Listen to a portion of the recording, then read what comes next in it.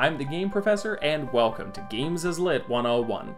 We can, and I'm sure probably will, debate the specifics of how, when, and why video games are art until, well, pretty much the end of time. But one thing that I do feel confident claiming without reservation or exception is that all video games aim to make you feel something.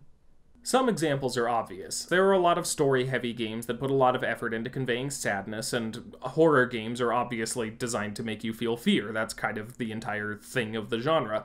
But even simpler games are designed to invoke some kind of feeling. Missile Command is made to make you feel hopeless. Kind Words is made to make you feel understood and supported. Super Mario Bros. is made to make you feel happy and entertained. All games aim to make you feel something. But it is, of course, also possible for a game to do this poorly and fail at properly getting that emotion across to the player. Sonic 06, because the low hanging fruit is usually the easiest to talk about, obviously aims to make the player feel the thrill of speed, to make them feel fast and cool. But since Sonic 06 is bad at pretty much everything, it doesn't succeed at this. But that doesn't mean it didn't try. That's still part of its identity, even if it failed pretty miserably at it. Today, we're talking about a game that succeeded in establishing what it wanted its players to feel, in contrast with its own failure to do so just one game prior in the series. That is, we're talking about Titanfall 2. And for context, we're going to have to start by talking a little bit about Titanfall 1. Titanfall was a multiplayer military shooter with one major twist mechs. Call of Duty may reward kill streaks with improved radar functionality or airstrikes, but Titanfall delivers a giant mech from the skies and lets you climb in and wreak havoc on your enemies from the cockpit of a giant mechanical monster. Titanfall was a multiplayer only title, but that doesn't mean it's not trying to make the player feel something. Multiplayer shooters certainly aren't as emotionally focused as single player story based games, for instance, but nonetheless, they do still try to make the player feel powerful or tense or like part of something bigger than themselves. And Titanfall, if anything, was a little more clear and upfront at exactly what emotion it wanted to inspire in players. Titanfall wants you to feel awe. This is undoubtedly part of the more general and nearly universal feeling of power that these games go for. Most shooters want you to feel powerful, and it's hard not to when you're in the cockpit of a Titan. But that comes with a balance. For all the time the player spends in a Titan, they generally spend far more time as a puny little human running and fighting while these colossal metal terrors conduct their own battles around them, and sometimes even against them.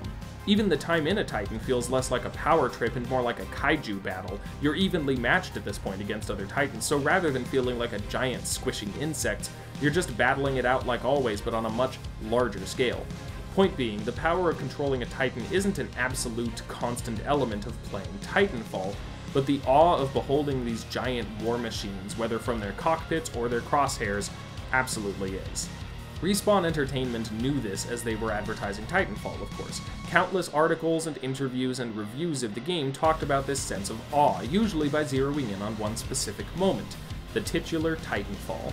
Obviously, this did come across in the original game, but its identity as a multiplayer shooter meant it couldn't really ensure a positive experience early on to establish this feeling.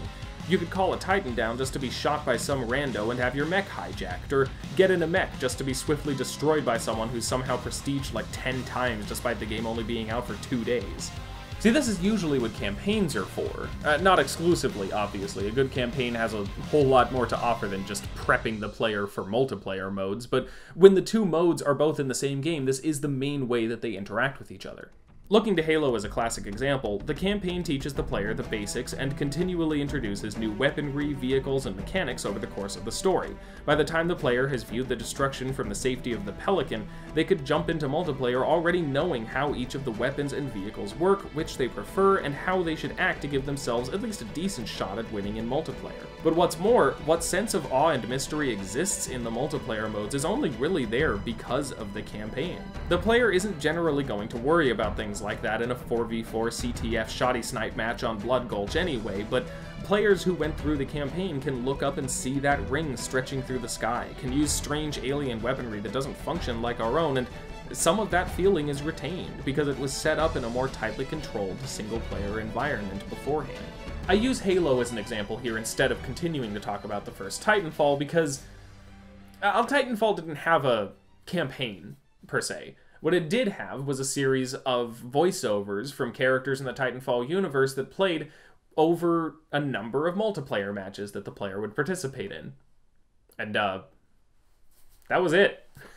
It was easily one of the most ill-conceived stabs at a story mode I've ever seen.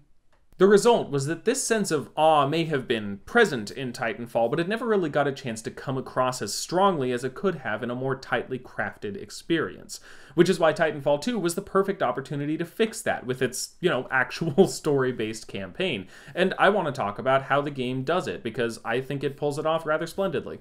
The opening segment of any game has a few things it has to accomplish. As a game, it has to introduce the player to the core mechanics. As a story, it has to introduce the player to the protagonist, the world it takes place in, and the dangers, stakes, and goals of their specific situation.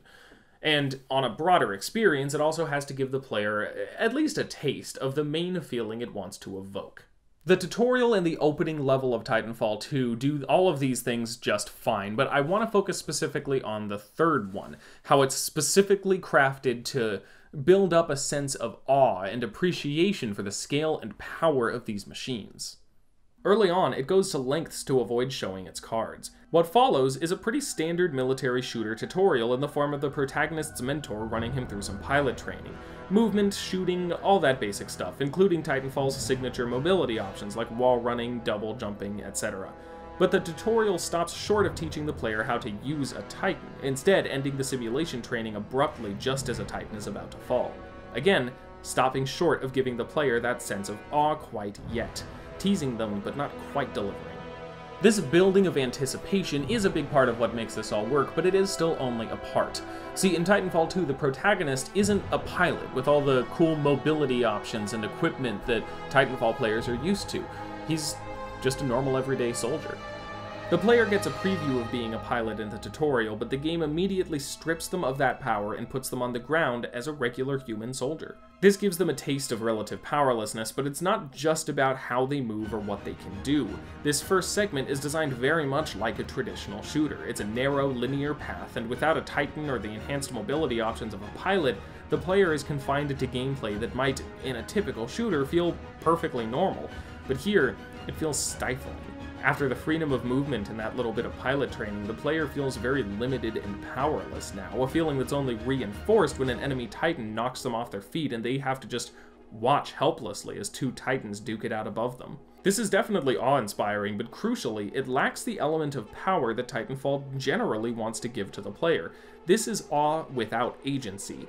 In other words, it's more like fear watching something wild and dangerous unfold beyond your control, knowing you're right in its path and can't do a thing about it. The game is starting to deliver on this sense of awe, but the perspective here is very intentional.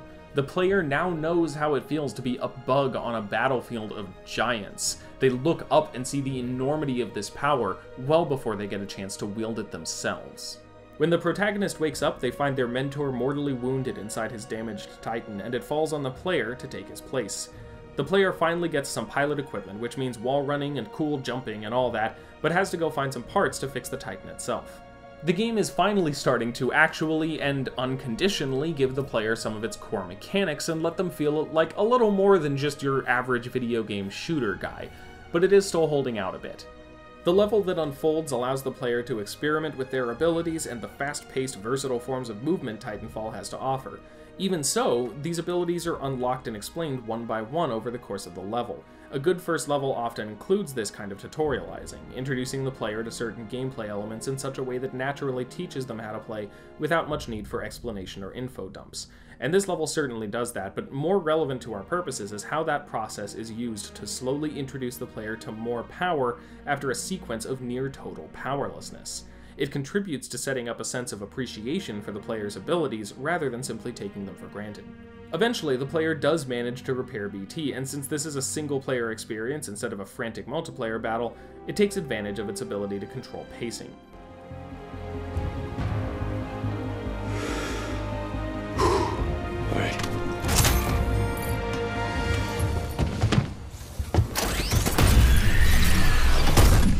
Protocol 1. Link to pilot.